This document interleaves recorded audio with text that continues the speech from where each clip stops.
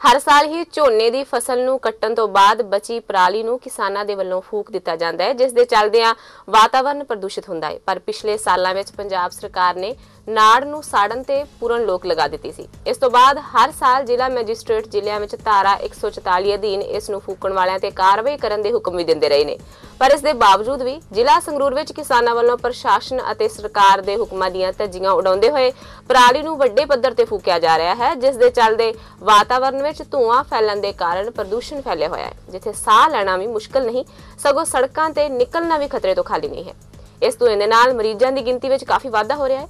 ਸੰਗਰੂਰ ਦੇ ਲੋਕਾਂ ਨੇ ਸਰਕਾਰ ਨੂੰ ਅਪੀਲ ਕੀਤੀ ਹੈ ਕਿ ਪਰਾਲੀ ਦੇ ਮੁੱਦੇ ਤੇ ਕਿਸਾਨਾਂ ਦੇ ਲਈ ਮੁਆਵਜ਼ੇ ਵਰਗੇ ਪੁਖਤਾ ਪ੍ਰਬੰਧ ਕੀਤੇ ਜਾਣ ਤਾਂ ਜੋ ਕਿਸਾਨ ਪਰਾਲੀ ਨੂੰ ਅੱਗ ਨਾ ਲਾਉਣ ਅਤੇ ਲੋਕਾਂ ਦੀ ਸਿਹਤ ਨਾਲ ਖਿਲਵਾੜ ਨਾ ਹੋਵੇ।